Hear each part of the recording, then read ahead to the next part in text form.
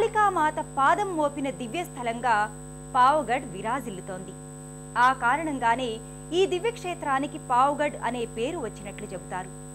అలాగే ఇక్కడ ఈ క్షేత్రంలో అమ్మవారు కొలువైన కొండ ప్రశాంతమైన వాతావరణంలో మనోహరమైన ప్రకృతి దృశ్యాల నడుమ ప్రత్యేకంగా ఉండడం ఈ కొండ అంతా బ్రహ్మర్షి విశ్వామిత్రుని తపోశక్తితో నిండి ఉండడం వల్లే ఈ క్షేత్రానికి ఇంతటి ప్రాధాన్యత వచ్చిందని చెబుతారు.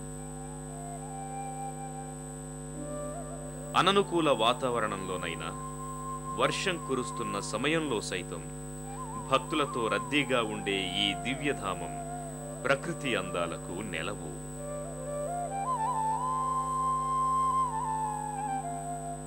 మెట్ల మీదుగా సాగిపోతున్న భక్తులు ఇదే మార్గంలో అటూ ఇటుగా ఉన్న దుకాణాలలో అమ్మవారికి సమర్పించుకోవటానికి పూలు కొబ్బరికాయలు ఇతర పూజా సామాగ్రిని సేకరించుకుంటారు. అమ్మవారి పట్ల పరిపూర్ణమైన విశ్వాసంతో ముందుకు నడుస్తూ తమ భక్తి ప్రపత్తులను చాటుకుంటారు.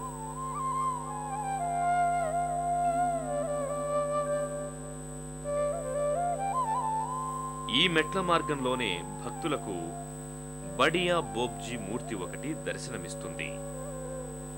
ఈ మూర్తిని భక్తితో దర్శించుకున్న భక్తులు ఇంకొంచెం ముందుకు వెళ్ళినప్పుడు కాలభైరవుని దర్శనం కలుగుతుంది. ఇక్కడ కొలువైన కాలభైరవుడు భక్తులకు కావలసినంత మానసిక ధైర్యాన్నిస్తాడని భక్తులు నమ్ముతారు. కొంతమంది భక్తులు ఈ మెట్ల మార్గంలోనే ఉన్న ఓ స్థలంలో అమ్మవారికి కొబ్బరికాయలు సమర్పించుకుంటారు. సతీదేవికి చెందిన కుడికాలి బొటనవ్రేలు పడి కాళికామాత వెలిశారని చెప్పబడుతోన్న ఈ దివ్యధామం సాయంకాలం వర్షా శీతాకాలాల్లో మంచుతో కప్పబడి ఉంటుంది. అమ్మవారి భజనలతో నామస్మరణతో ముందుకి నడుస్తున్న భక్తులకు మార్గం మధ్యలో దుర్గామాత మందిరం దర్శనమిస్తుంది. మహిమాన్వితమైన కాళికామాత రూపమైన దుర్గామాత ఇక్కడ చల్లని తల్లిగా భక్తుల కోర్కెలు తీర్చే కొంగు బంగారంగా విరాజిల్లుతోంది. ప్రశాంతమైన వాతావరణంలో అలరారుతోన్న ఈ మందిరంలోనే భక్తులకు కాళికామాత విఘ్నేశ్వరుడు వీరాంజనేయ స్వామివార్ల మూర్తులు కూడా దర్శనమిచ్చి భక్తులను ఆధ్యాత్మిక మార్గం వైపు మళ్ళిస్తాయి ఇక్కడ ఈ క్షేత్రం అష్టాదశ శక్తి పీఠంగా విరాజిల్లటానికి ఓ పురాణ గాథ ఒకటి ప్రచారంలో ఉంది. దక్షుడు ఓ యజ్ఞాన్ని తలపెట్టి దానికి తన కూతురైన సతీదేవిని పిలవలేదట. అయినప్పటికీ పుట్టింటిపై ఉన్న మమకారాన్ని చంపుకోలేని సతీదేవి ఆ యజ్ఞానికి వెళ్ళి అవమానాలకు గురై హోమాగ్నితో తన ప్రాణాన్ని తీసుకుందట. ఇది తెలుసుకున్న శివుడు ఆగ్రహావేశాలతో శివతాండవం చేయగా శివుని కేశాల నుంచి పుట్టిన వీరభద్రుడు దక్ష యజ్ఞాన్ని నాశనం చేశాడట. అనంతరం శివుడు సతీదేవి పార్థివ శరీరాన్ని తన భుజంపై ఉంచుకొని శివతాండవం చేయగా ముల్లోకాలు అల్లకల్లోలమైపోయాయట. దాంతో శ్రీ మహావిష్ణువు తన సుదర్శన చక్రంతో సతీదేవి శరీర భాగాన్ని పద్దెనిమిది ముక్కలు చేయగా అవి వివిధ క్షేత్రాలలో పడి మహాశక్తి పీఠాలుగా మారాయని పురాణాల ద్వారా అవగతమవుతోంది. అలా శక్తి పీఠంగా మారిన దివ్యధామమే పావుగడ్డని ఇక్కడి స్థల పురాణాలు చెబుతున్నాయి. గర్భాలయంలోకి చేరుకున్న భక్తులు కాళికా అమ్మవారి దివ్యమంగళ రూపాన్ని దర్శించుకొని అలౌకికమైన ఆనందానికి గురవుతారు.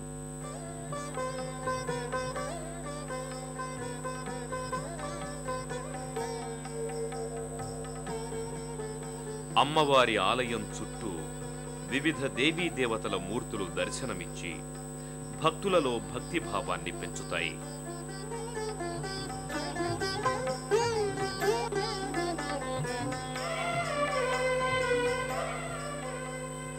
కాళికామాత నామస్మరణ చేసుకుంటూ ముందుకు సాగుతూ ఆ తల్లి కరుణా కటాక్ష వీక్షణాల కోసం గర్భాలయంలోకి ప్రవేశిస్తారు.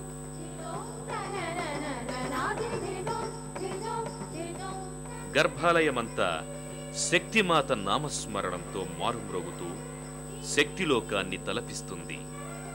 అమ్మవారి దర్శనమే తమకు పరమావధిగా భావించే భక్తులు అమ్మవారి జపాలు తపాలు చేస్తూ గర్భాలయంలో కొలువైన కాళికామాతను దర్శించుకుని తల్లి జగజ్జనని కాళిక మా పూజలందుకొని మమ్మనుగ్రహించు తల్లి అంటూ భక్తితో ప్రణమిల్లుతారు.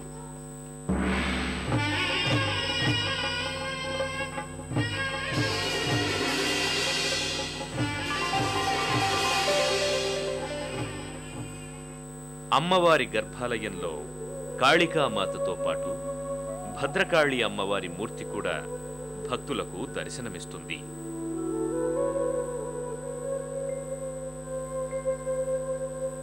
గర్భాలయంలో అమ్మవారి బంగారపు పాదాలు కూడా దర్శనమిస్తాయి. ఈ పాదాల దర్శనం సకల పాపాల హరణమని భక్తులు భావిస్తారు. అలాగే అమ్మవారు ఈ గడ్డ మీద పాదం మోపారు కాబట్టి ఈ క్షేత్రాన్ని పావుగఢ్గా పిలుస్తూ అమ్మవారిపై విశేష భక్తి శ్రద్ధల్ని కనబరుస్తారు. జగముల కరుణించి మమ్ము కాపాడు తల్లి. జగముల నేలు జగదంబ నీ కరుణించి మమ్ము కాపాడు తల్లి. పరమేశ్వరి లలితాంబిక రాజేశ్వరి భ్రమరాంబిక జగముల నేలు జగదంబ నీవే. కరుణించి మమ్ము